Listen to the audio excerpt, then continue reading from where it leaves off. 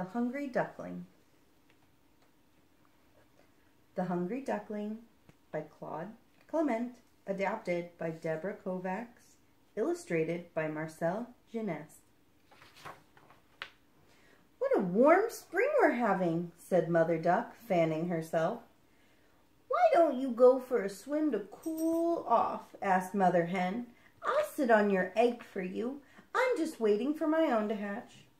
Oh, thank you, cried Mother Duck. I'll be back soon. And so Mother Duck waddled to the pond for a short swim.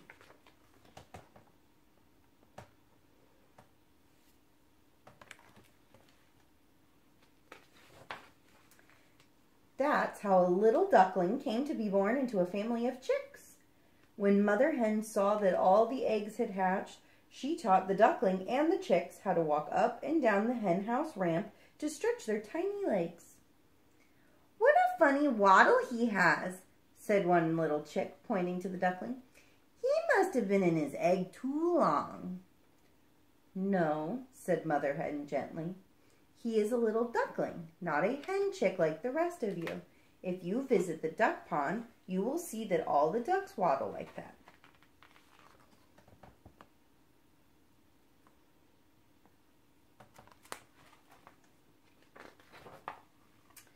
When it was time to eat, Mother Hen showed her little ones some tasty grain that was spread on the ground. The chicks pecked it at it until they were full, but the little duckling's bill was too big and round to pick up the tiny bits of grain. I'm so hungry, he said to one of the chicks. Do you know what ducks eat? No, I don't, answered the chick. I guess I'll have to find out for myself, said the hungry duckling. He waddled down the path searching for a good meal.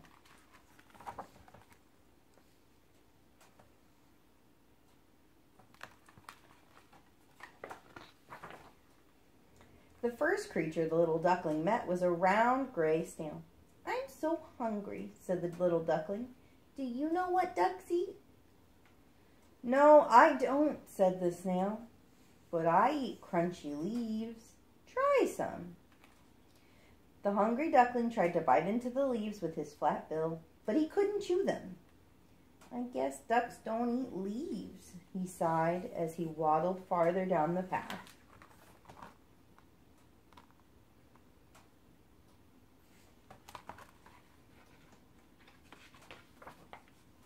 Soon he met a frog.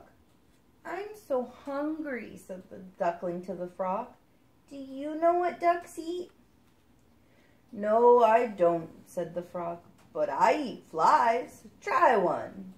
With that, the frog shot out of his out his long, sticky tongue and caught a fly, swallowing it in one gulp.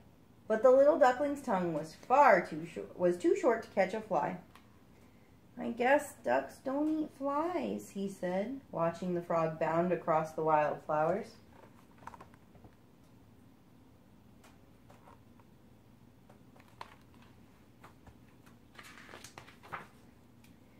Before long, the hungry duckling arrived at the pond. There was Mother Duck, just finishing her swim. My little duckling, she quacked Mother Duck in surprise. You hatched early. It's such a hot day. Hop in the pond with me.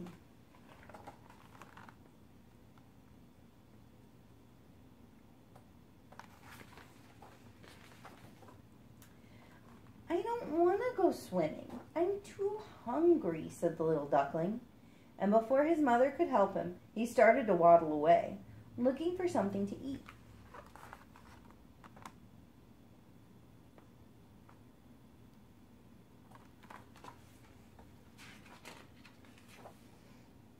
At that moment, a little kingfisher who had been sitting in a nearby tree dove into the pond. You won't go in the pond, he teased. You're a chicken. No, I'm not. Said the little duckling proudly, and he dove in after him. The duckling watched as the kingfisher gobbled up the little minnows, worms, and tadpoles at the bottom of the pond. The little duckling's tummy began to growl, and he felt very, very hungry. Try some, called the kingfisher.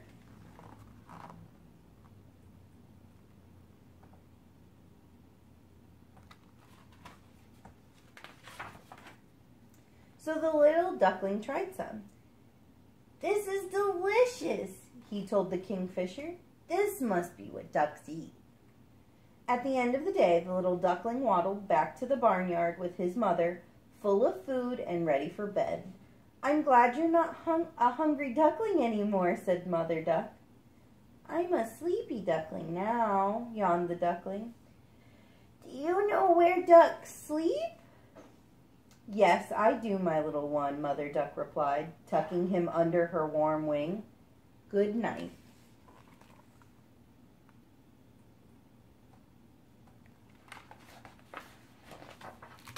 The end.